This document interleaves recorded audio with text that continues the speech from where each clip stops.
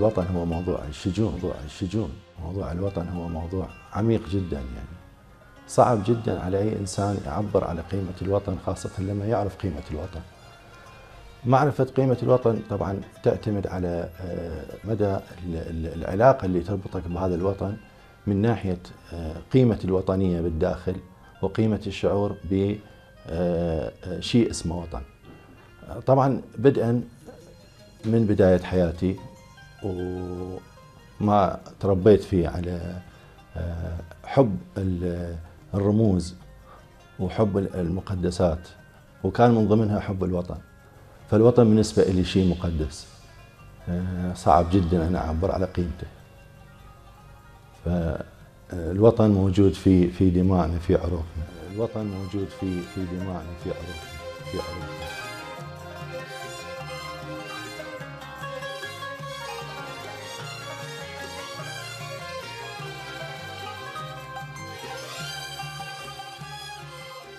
بعد ما خرجنا من خارج البلد بدأ يجينا معنى جديد آخر للوطن. ما كنا نشوفه داخل الوطن هذا.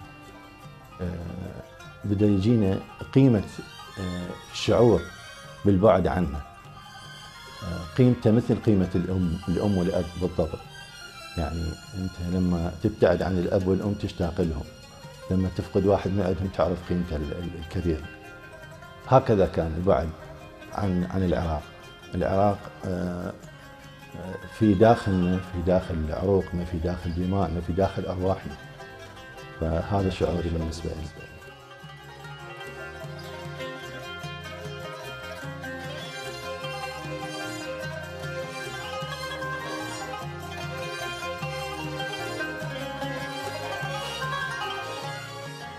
نشأتي الأولى كانت في منطقة أبو غريب في في بغداد. وهاي المنطقة فيها آه، جمالية خاصة كون فيها آه، طابعين الطابع الريفي والطابع المدني. وكان فيها آه، مختلف الشرائح. كانت هي عبارة عن نسيج مندمج من الثقافات من القوميات من الأديان من المذاهب. نشأت في في هذا المحيط وتعلمت منه الكثير. تعلمت منه الاحترام الكبير وكيف إنه لما يكون الشخص له مكانة في داخل المنطقة وداخل المكان اللي أنت ساكن فيه. آه، المشاعر اللي اللي آه، تكون داخل الإنسان هي لما يكون آه، داخل بيته ويحترم أبوه وأمه. كان حتى فيها ناس تعتبرهم هم مثل ولي أمرك بينما هو مثلا يكون صديق الأخ أو صديق الأب. فهذا الطابع اللي كان موجود في أبو غريب صراحة. تعلمنا آه، الأصالة من هاي المنطقة ونشأت فيها. خلصت بها دراستي الإعدادية ودراستي قبلها الابتدائية. دراستي الابتدائية في ثلاث مدارس في المنطقة تبعا لمنطقة السكن اللي سكنت بها لأنه أنا يعني أهلي غيروا السكن في ثلاث مكانات في داخل نفس المنطقة منطقة أبو غريب.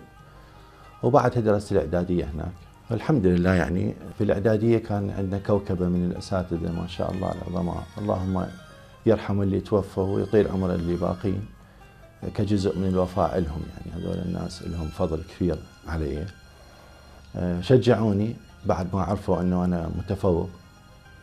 وحتى في المدرسة الابتدائية لما كنت في المدرسة الابتدائية آه، كنت متفوق. فكانوا يركزوا على هذا ويشجعوني. بالإضافة إلى أهلي تشجيع أهلي طبعا كان تشجيع الناس ومعارفنا. الحمد لله زادت الثقة في نفسي سنة على سنة آه، إلى أن صارت عندي طموحات يعني طلعت معدل عالي بالدراسة الإعدادية واخترت قسم الهندسة المعمارية.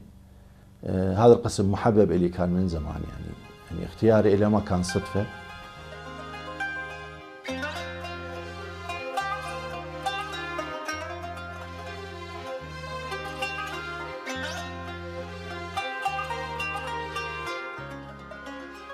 رغم إنه عندي كانت ميول نحو الهندسة الفيزيائية بس يعني لما كنت بالمتوسط وهذه كانت عندي تجارب وأنا طفل صغير.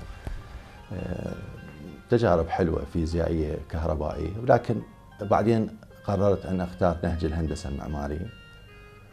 و فعلا قبلت في قسم الهندسة المعمارية بجامعة بغداد. وهناك بدأت القصة قصة صنع المستقبل. والحمد لله يعني جامعة بغداد كان فيها قسم معماري على مستوى عالي جدا. الأساتذة اللي موجودين به كانوا جدا جدا يعني مستوى عالي. يعني الموهبة اللي عندنا اللي موجودة حاولوا أنه يشتغلون عليها. كذلك أكاديميا يعني حاولوا أيضا يوظفون هذه المواهب اللي موجودة عندنا حولوها إلى بالأخير صنعوا مهندسين والحمد لله موجود المهندس المعماري العراقي إلى مكانه في كل العالم. وطبعا أكيد ما يفوتنا ذكر المهندسة الرائدة اللي هي زاها حديد الله يرحمها. كمثال للمهندس المعماري العراقي عندما تسنح له الفرصة أنه يصنع المجد يصنع المجد. عندما توفر لها في في بريطانيا هذا الأمر برزت إمكانية المهندس المعماري وكذلك في بقية الأقطار. فاحنا الحمد لله يعني اشتغلنا على هذا النهج وهذا الأمر توسع عندي خاصة أنا لما اشتغلت في بعض المناطق المهمة في داخل القصور في في بغداد.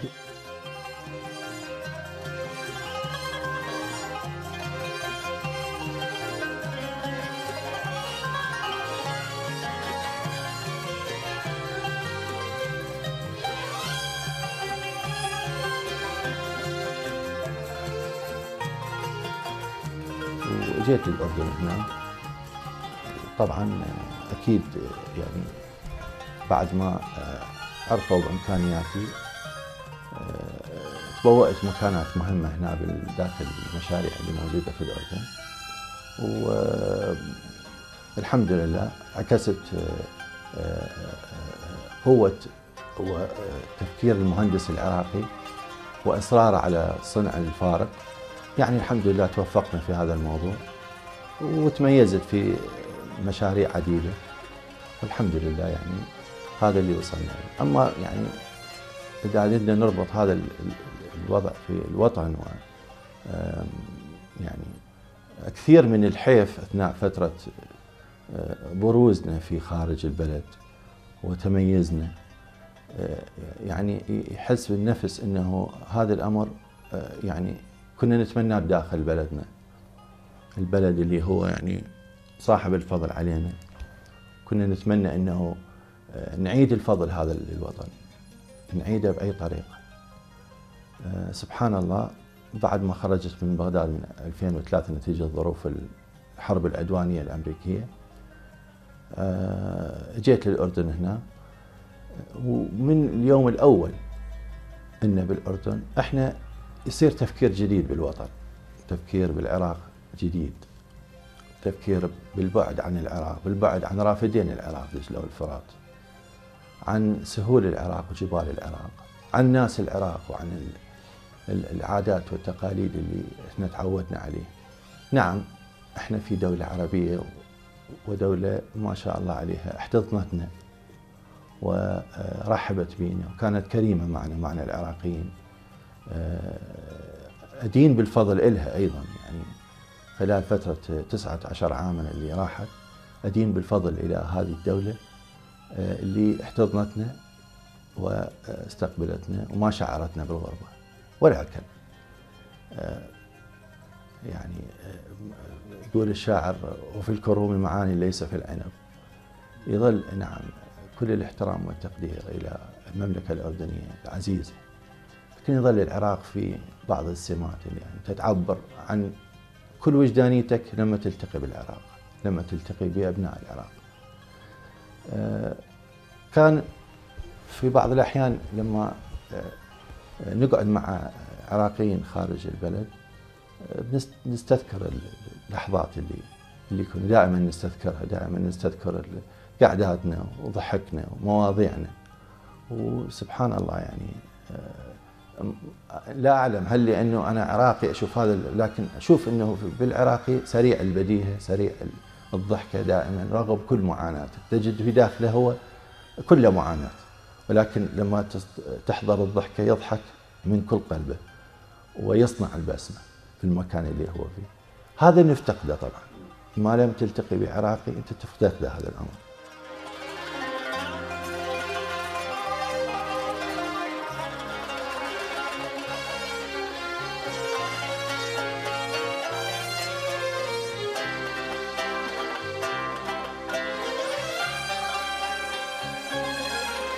دائما المنطقة الريفية يحكمها أكثر شيء آه، العرف العشائري.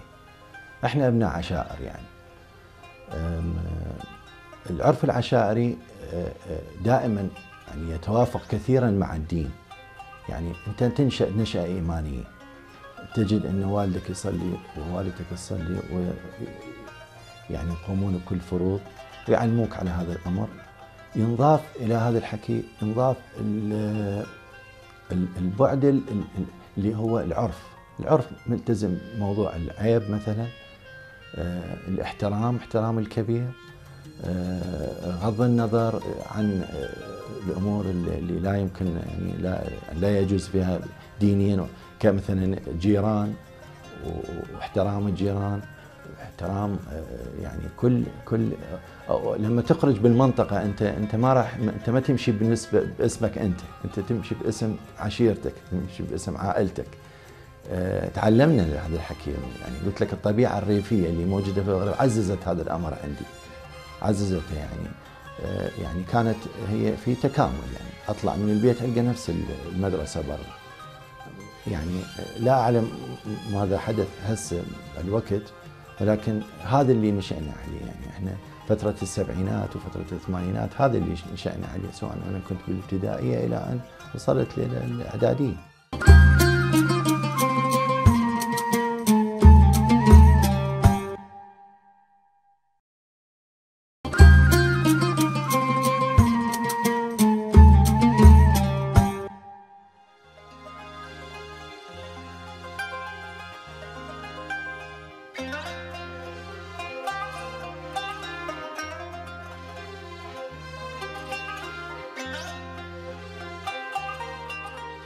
كل شيء بالعراق حلو. ما تقدر تميز شيء عن شيء. يعني أقول لك ابتداء من الشجر ابتداء من الشارع ابتداء من الأطفال اللي في المنطقة. تشوف الأطفال وحركة الأطفال تشوف حتى غروب الشمس. يعني أنا كنت لما واني مسافر وأشوف يعني كنت قلت راح أطول هل راح أكون هل راح أبتعد عن العراق؟ مدة طويلة لو مدة قصيرة. لكن النخل بالنسبة لنا يعني كمعماريين النخل هو أحد رموز العراق. فإله آه، تأثير بداخلنا مطبوع بداخلنا أكيد ودعت النخلة ودعت الشجرة وأتمنى يعني من رب العالمين عز وجل أن تسنح الفرصة أن نرجع نبني الوطن نرجع نبني نرجع نزرع الشجر نرجع آه، نرجع آه، قيمة هذا البلد وهذا العراق.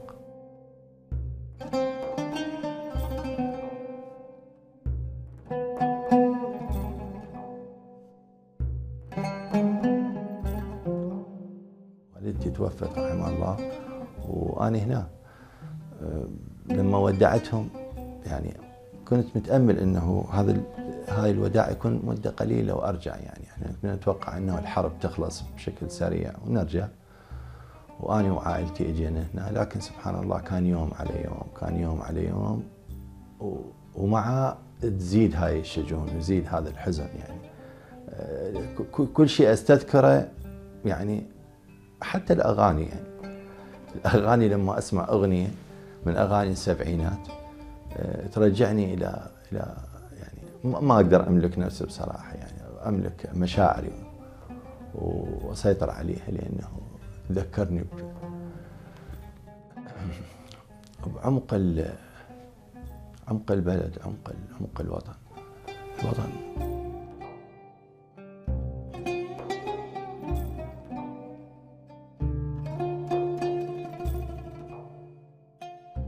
كلها تجي على بالي. تخيل يعني آه، المدرسة اللي بصف الأول ابتدائي أتذكرها بتفاصيلها. أتذكر حتى بعض أسماء المعلمات اللي درسونا. يعني كيف كنت متميز أنا فكان هذا الأمر متعلق يعني معلق بذهني يعني ما, ما يختفي عن ذهني. لأنه شجعوني كثير المعلمات اللي موجودات هناك. المدرسة أتذكرها بتفاصيلها الصف الأول والثاني والثالث والرابع إلى آه، أتذكر لحظات يعني أستغرب يعني بعد هذا العمر كيف أتذكر لكنها الظاهر أنه مطبوعة في داخل مربعات الذهن وما تفارقه. ما أعرف لأنه يعني آه، العالم الآن توسع كثير يعني توسع تكنولوجيا توسع. أصبحت مربعات الذهن مليئة بكثير من الأمور خاصة مع بروز مواقع التواصل الاجتماعي. آه، لكن سبحان الله يظل هاي اللحظات اللي عشناها بوطننا تظلها موجودة. يعني مثل مثل الأضوية اللي تشوفها من بعيد ولما تتقرب معها تفتح لك مساحة أكبر للرؤية فتظهر لك مربعات أخرى بالذاكرة ما كانت موجودة. هذا اللي نشوف أكيد بها يعني حنين حنين حن على مدرستي وحن على متوسطة وحن على الإعدادية. وحتى بالجامعة مكانات اللي كنا نقعد بها مع زملائنا. ولو الحمد لله كثير من زملائي بالجامعة على تواصل معهم لحد الآن. هم كل واحد في في دولة يعني.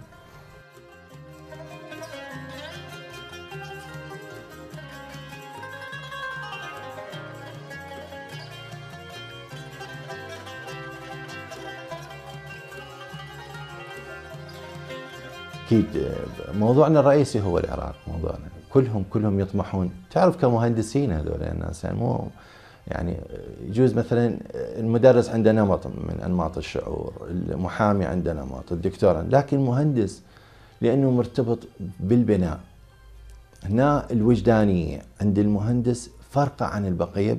طبعا مو مو للمزايدة عن وطنية الآخرين ابدا بس المهندس آه، آه، عنده يعني شيء ثاني عنده تواصل مع الأرض وتواصل مع البناء. وتعرف أنت يعني إحنا كعراقيين أهل حضارة إحنا أول ما بنينا أول ما أعطينا للناس قيمة المبنى والوطن والاستيطان في في المدن. فبالتالي هذا الأمر امتدت يعني بذرة الحضارة امتدت مع هذا الأجيال جيلا بعد جيل. إلى أن وصلت إلى جيلنا فلما كنا صغار وكانوا يحكوا لنا عن الحضارة ما كنا نعرف شو معنى الحضارة بمعناها بس بعدين لما تعمقنا في دراسة البلد دراسة تاريخ تاريخ العراق عرفنا شو قيمة الحضارة. قيمة الحضارة هي هي هي هي يعني تبرز عندما يسمح لك المجال.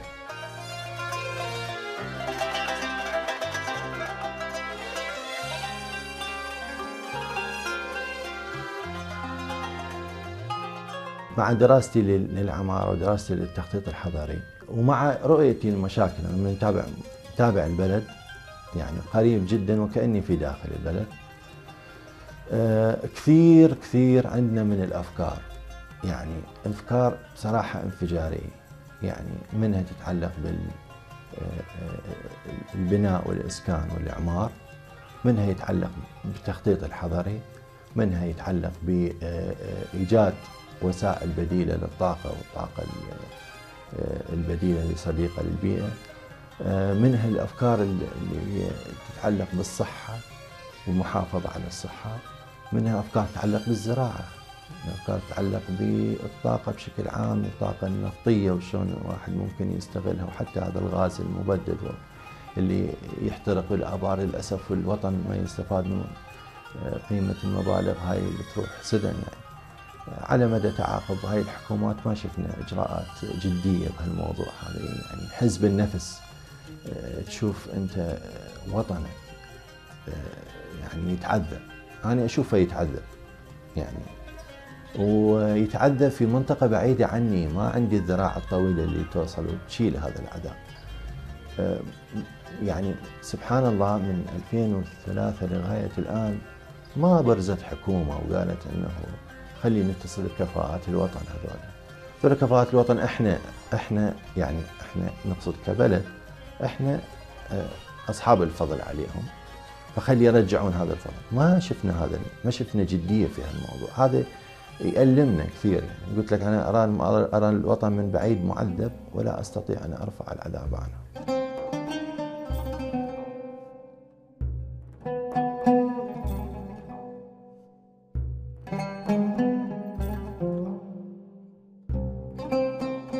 كثير من المناسبات اللي تحدث اللي وإحنا بالغربة ذكرنا ببلدنا ذكرنا بناسنا.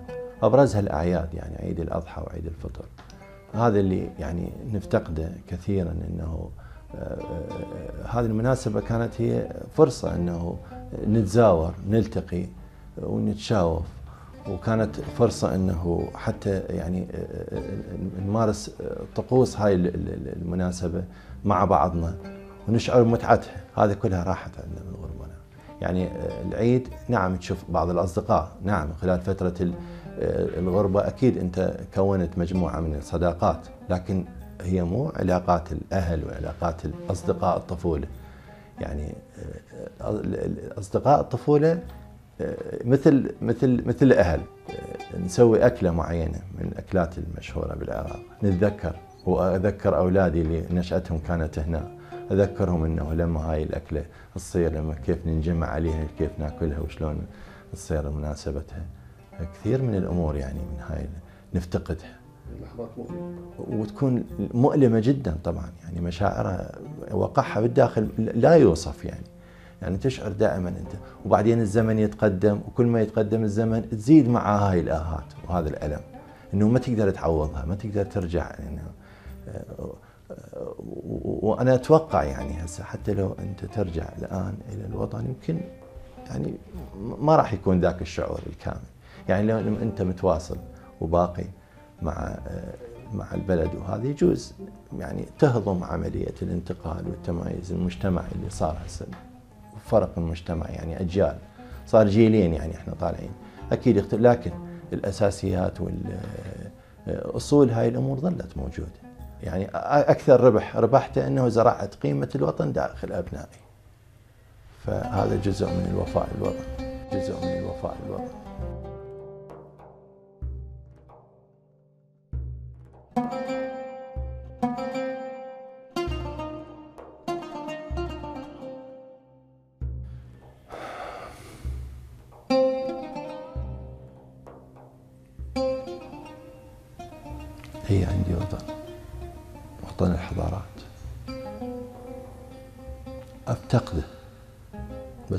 موجود موجود في داخل أعماقي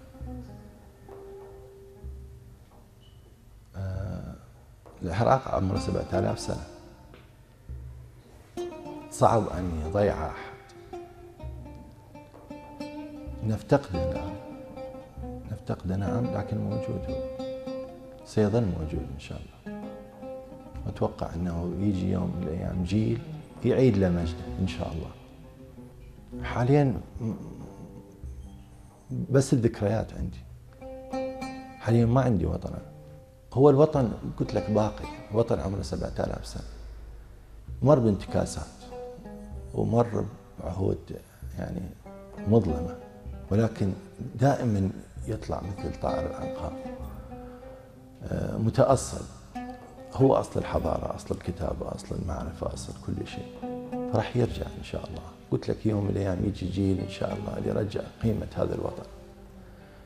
دورنا إحنا لازم نظل نحاول للأجيال القادمة نزرع هذا الموضوع حتى يحصدوا أجيالنا الجاية ويرجعون يتمتعون بوطن إحنا فقدنا فقدناه في لحظة من اللحظات وفي عمر معين وفي وقت معين. إن شاء الله يرجع الوطن.